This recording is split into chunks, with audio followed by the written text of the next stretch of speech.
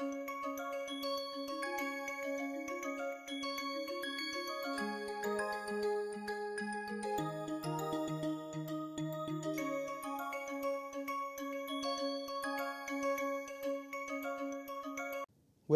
to this lecture on digital communication using GNU Radio. My name is Kumar Appaya and I belong to the Department of Electrical Engineering at IIT Bombay. in this lecture, this is the third in our series of relaxing the assumption that all the parameters of the receiver are known. That is, we are going to look at synchronization, parameter estimation, how you can estimate the delay, amplitude, phase, frequency at the receiver. Where we left off in the previous lecture was a brief discussion on the phase lock loop.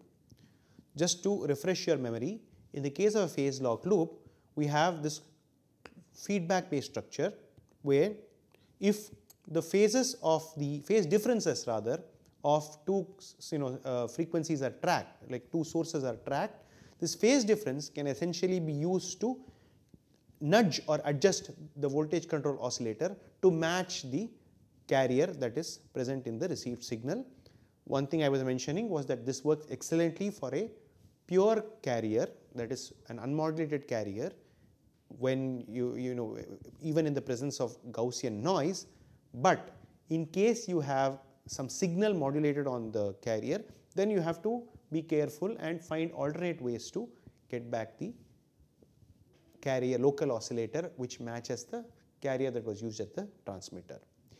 We will now discuss the maximum likelihood interpretation of the phase lock loop. If we consider an observation interval of length t naught that is will take enough number of cycles to have the variations of the carrier present. Now your y of t is e power j theta n of t. Now in implicitly I am ignoring the, uh, the variation of theta but assume that this is e power j theta of t that is the phase is essentially varying and variation of phase as you are aware is actually because of frequency that is if you differentiate the phase you get omega. Therefore, here implicitly assume that it is e power j theta of t. So, y of t is e power j theta plus noise and this theta is unknown and it is not a number it is varying with time you have to essentially find out the frequency offset. So, this L of y given theta is exponential 1 by sigma square real part of y e power j theta minus t naught by 2. How? If you perform the integration over an interval of t, this is what you will end up getting because if you take n of t, n, n of t, right, if you integrate n of t from 0 to t0, then that becomes a random variable and that random variable will have variance proportionate to t naught. So, if you now look at this and this T naught is exponential number we do not really care much about, we just need to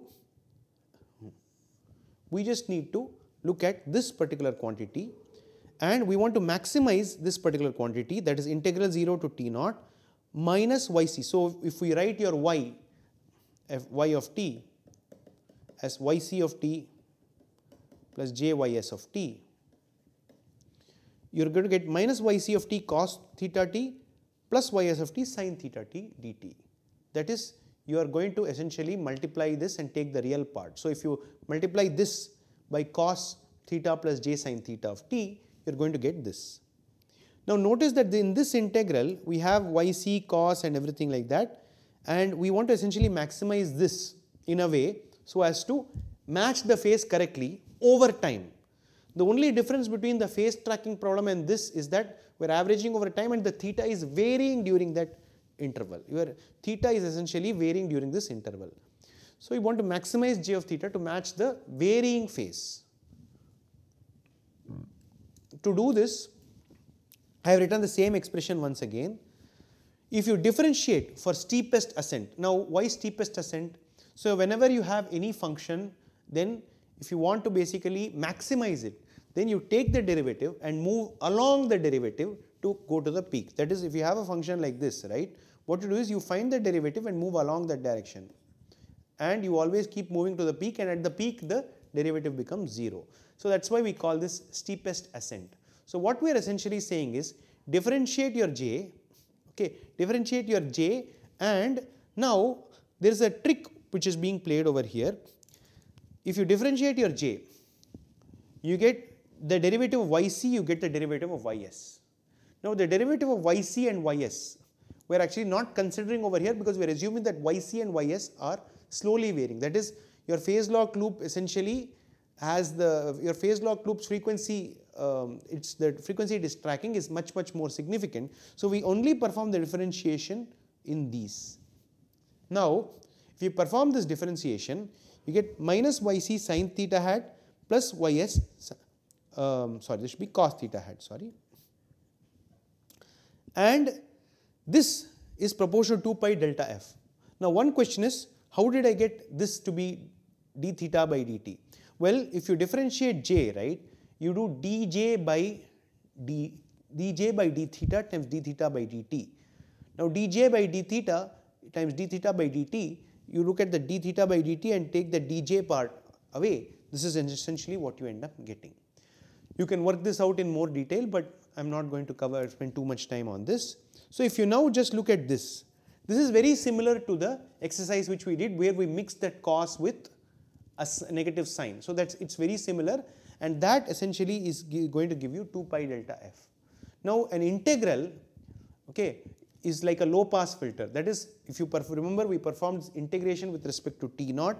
So over here this integral with respect to t naught is like a low pass filter and with feedback to correct for this 2 pi delta f by means of using a voltage control oscillator, you end up getting a phase lock loop. So that loop filter and you know all those things that we did is in essence performing an averaging or integration and adjusting the voltage control oscillator to give you the correct output frequency and this jointly performs both frequency and phase tracking. Intuitively, a PLL tries to track the phase, but because it keeps tracking the phase with time, it changes the phase with time and, and, this change of phase with time essentially translates to the frequency offset. So this is the intuition with which you can understand how a phase lock loop works even from a maximum likelihood perspective because we set up the j of theta that is an optimization metric and that essentially translates to um, you know maximizing that essentially translates to tracking the frequency optimally. This is something that you can look at in more detail at the references. In fact, designing of phase lock loops is a very uh, well studied problem and uh, you can get several circuit related literature where efficient implementations of phase lock loops under various constraints, various modulation formats is essentially covered. So this is something which you can look at in more detail in the references. Of course, in GNU Radio we will cover some aspects of PLLs you know using the simulation as well to find out how well it performs under noise. A small aside, there is something called Costas loop for phase shift keying, only phase shift keying. Okay. In this case, what you have is you essentially perform the uh, symbol, you know, you perform the symbol sampling, but then you find a way by which you can essentially track the frequency offset by tracking the phase offset. In this case, right, because of the phase offset which is varying, you are going to have your PSK symbols going all over. Let me give you a practical scenario. So, okay. So, let us say that you send PSK symbols. Let us say that you have QPSK. Ideally, you send this. Unfortunately, you remember the frequency offset manifests as a phase. So, what you will end up getting is if you keep sending this symbol also at the receiver you are going to get this kind of rotation why is there a rotation? Because if you remember, we, we, we discussed that if there is a phase offset, you are going to get an e power j phi. And if there is a phase offset which changes with time, you are going to get e power j phi of t. This is very harmful and this is not going to help our cause at all. So what do we do? We are going to use a trick. Let us say that we have QPSK. For QPSK, let us take e power j pi by 4 that is this symbol. And what do you get when you take e power j pi by 4 to the power 4? You get e power j pi which is minus 1. If you take e power j 3 pi by 4 that is this symbol that also gives you minus 1. e power j 5 pi by 4 e power j 7 pi by 4. All of these map to minus 1. So, what trick can you play? Well, let us now look at what we can do. Let us say that you have y0 is equal to and this is uh, y0 is equal to let us say we will for temporarily ignore noise b0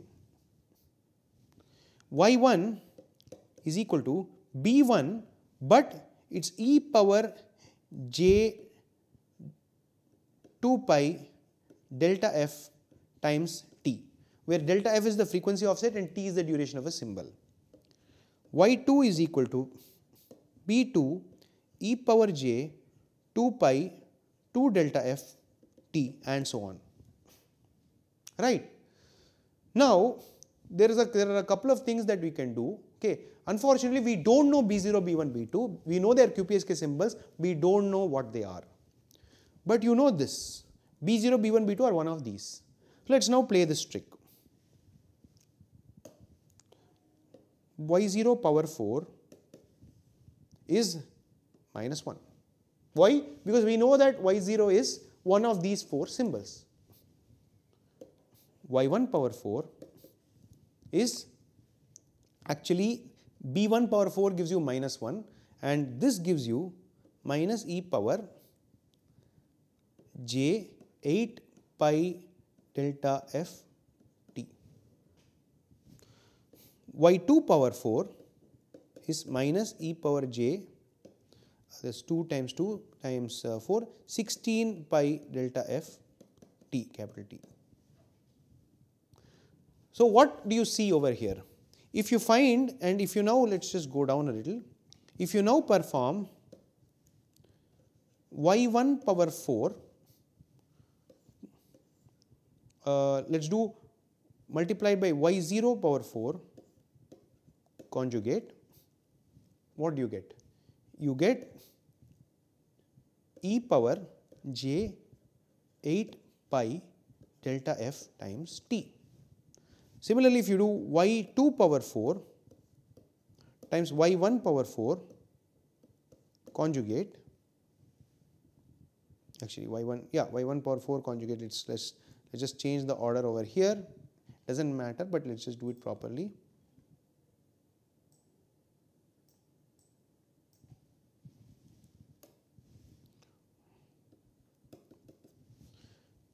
You end up getting e power j 8 pi delta f t.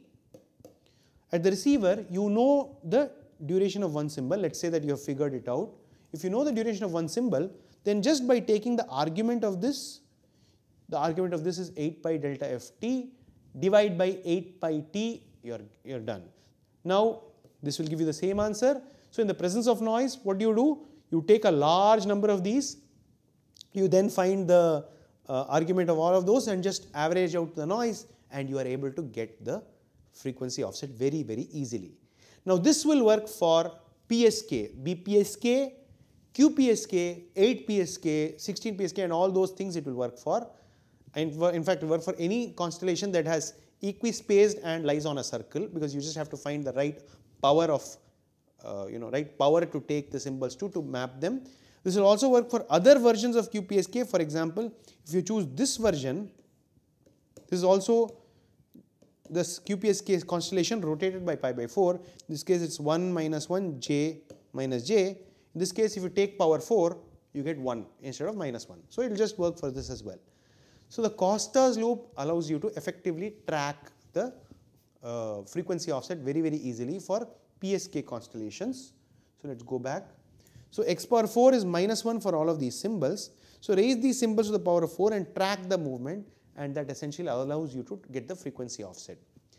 Now one remark that I will make is that while Costas loop is very easy to understand and implement and we will actually see that it works very well for certain scenarios, it fails when you have some other impairments like uh, a channel like let's say that you essentially have your symbols but unfortunately they get convolved with some other channel or something in that case, you have to make some adjustments for the Costas loop to work. So for example, the, if the problem that we face is that we have to jointly estimate the delay, the amplitude, the frequency offset, the phase and eventually we will look at the channel also. So in that situation the Costas loop may or may not be the most effective and a more traditional phase lock loop based approach is, is much easier to realize there because you can extract those frequency components much more easily. This Costas loop is something which you will be uh, looking at in the simulations uh, using GNU Radio as well, but it's a very powerful and conceptual tool to understand how the PSK constellation looks like in the presence of frequency offsets. Now, we will just go to a continuation of this called differential modulation. I will quickly motivate it. So far, we have seen that system parameters vary with time. In other words, you have uh, differences between the transmitter and receiver. The transmitter and receiver have some differences that phase difference and frequency difference and all those and you are able to calibrate it. They vary with time but you can use phase lock loops or some other calibration mechanism periodically to track it. Now, you need to frequently recalibrate the system that leads to more overheads. But what if we exploit the fact that the system parameters change only slowly and can we encode information in the difference between these symbols? That is where differential phase shift keying comes in. This is a method of non-coherent communication that is we don't want to do carrier recovery but still utilize or exploit the fact that the carrier and the receiver is nominally close and get away with this. How do we do it? So in the case of differential PSK, as we just discussed, let's say that you have QPSK but there is an offset, offset in the frequency. The offset in the frequency manifests as a rotation of the constellation that if you send 1 plus 1j, it's going to become 1 plus 1j slightly moved away. That is, it's going to move away on the circle but move away and therefore, if you have noise, you are less robust to noise because you are going to have all these bad impacts of the movement of the constellation. Now, one approach is of course the traditional route where you use a PLL or use some approach to get the carrier, but let's say that we want to completely avoid the carrier estimation and use the fact that it doesn't move by much. Well, let's actually play the same game as we discussed in the case of the Costas loop.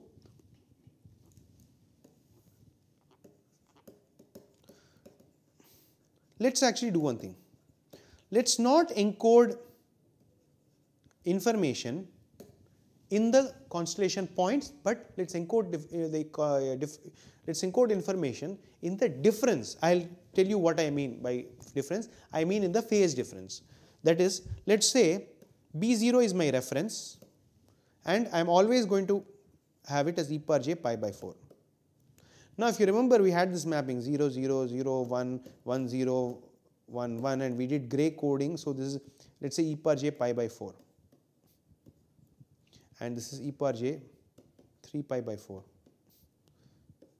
e power j 7 pi by 4 e power j 5 pi by 4. You can verify that this is one of the more effective ways to uh, allot the bits so that you don't you have minimum bit errors in the presence of symbol errors. This is gray coding. Now for B1 right, you write this as note carefully whatever symbol you want to send let's call let's call the let's call my symbols let's say actual symbol let's say m1 m2 and so on so m1 m2 all belong to this set let it be m1 times b0 let b2 be m2 times b1 okay that is I am always encoding the information in the phase difference. Now B3 is M3 times B2. So now let us come up with the scenario as we discussed above. Okay, in the scenario we discussed above. Okay, let's say that our y1 is b0. Our y2 is actually sorry let's say y sorry y0 sorry y1 is b1 e power j 2 pi delta f times t.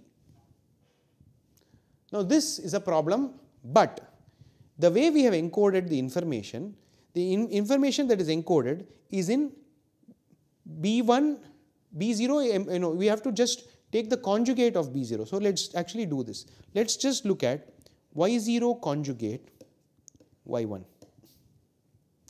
That is going to be equal to B0 conjugate and what is B1? M1 B0 e power j 2 pi delta f t. This is equal to M1 times e power j 2 pi delta f t. Now, if delta f times t is small, then e power j 2 pi f this is approximately equal to 1. That is, this does not add too much of phase. If your delta f times t is really small, this does not really add too much phase and you get your m1 directly. Let us do one more exercise. y2 is equal to b2 e power j 2 pi delta f t. I am assuming that the delta f is the same. B, y1 star y2 is equal to okay and this is going to be uh, 4 times actually there is a, there 2 times 2 delta ft. Now y1 star y2 is b1 star e power j 2 pi delta ft negative times p2 e power j 2 pi 2 delta ft that is equal to now b1 star b2 what is b1 star b2 from this particular equation? B1 star b2 is m2 why? Because all of these are psk constellations. I get m2 e power j and this is negative delta f this is 2 delta f 2 pi delta f. t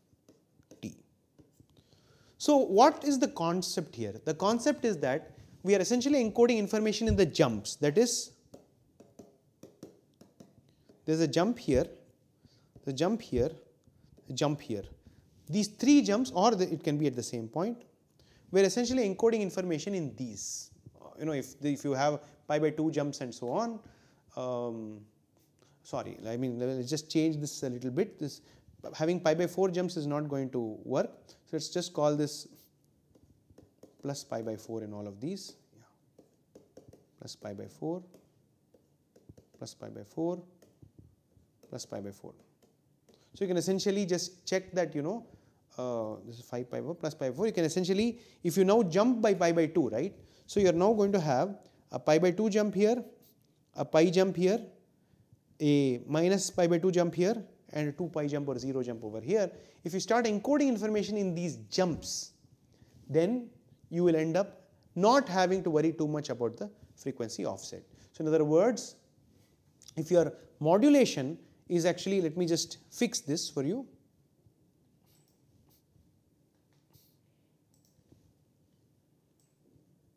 So let's just get rid of all this.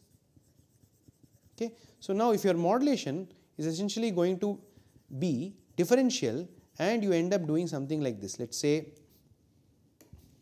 0 0 corresponds to let's say a 1 it no no no jump at all 0 1 corresponds to e power j pi by 2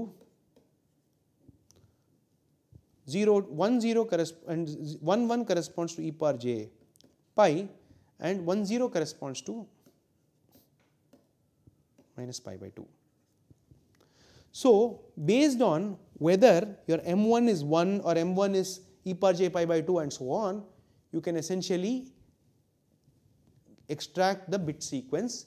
This extra bit of e power j 2 pi delta f t is something that you ignore and you assume that does not affect you so much if delta f t is small. Now there are some obvious pitfalls with this approach as well. One key issue being that if the frequency offset is actually quite large, you know, if it is close to, uh, you know, close, let, let's, let's give you, let's take an example. Let's say that your constellation point is this and you're always encoding information the difference, okay. That is, and let's say that you're, you're essentially getting this much of difference this is fine. But what if your frequency offset causes you to go somewhere here? Then you have a bit of trouble. You have to essentially start undoing it and the problem is you will have lots of noise as well. So your frequency offsets very high and you have noise then this differential approach really doesn't work that well. More importantly, because you are not really estimating the carrier and phase properly, you are actually just trying to track it, you are less robust to noise and in fact, the if you look, if you do the computation carefully, you will find that in the case of phase shift keying, you have poorer, differential phase shifting has poorer SNR properties, you have a higher bit error rate or symbol rate for the same signal to noise ratio. So frequency errors, uh, so this is just a you know kind of formal statement of what we did, encode information the difference. In the case of differential QPSK, we arbitrarily choose B0 as e power j pi by 4 and Bn is e power j phi n Bn minus 1 where phi n is 0 pi by 2 pi or 3 pi by 2 that is exactly what we did and we just do angle of our argument of B prime B you know B prime and star times Bn minus 1 this prime essentially refers to what was you know received even if it is deviated and that essentially gives you your phase. Now you are robust against slight frequency offsets but like I mentioned you have a higher penalty in the presence of noise. So to summarize we have seen in this uh, particular sequence of lectures at the receiver getting your parameters right is important you have to get the amplitude right for example, if you use QPSK, QAM 16 let's say, you have to get the amplitude right so as to get the decision regions correctly. So estimating the amplitude is one thing. Getting the sampling location right requires you to estimate the delay for start of symbol as well. Getting the phase and frequency offset is also important. There are various approaches, for example, phase lock loop or Costas loop, various approaches that work under different scenarios that have been tried and tested over the years. One approach where you can say I don't want to estimate the frequency offset correct you know, our phase offset, I want to just send my signals with some amount of you know uh, basically differentially across the phase. Works pretty well in the presence of a small amount of frequency offsets. But you have large frequency offsets and when you have issues like you know noise uh, being very significant then differential modulation does not really work that well. So in general coherent or frequency carrier uh, at the local oscillator based receivers have slightly better SNR to BR performance, SNR to symbol rate performance than differential modulation. We have now seen the impairments at the receiver that can affect your performance. In the next sequence of lectures, we will be looking at some of these using GNU radio and then we will look at the next major impairment that is the channel model. Thank you.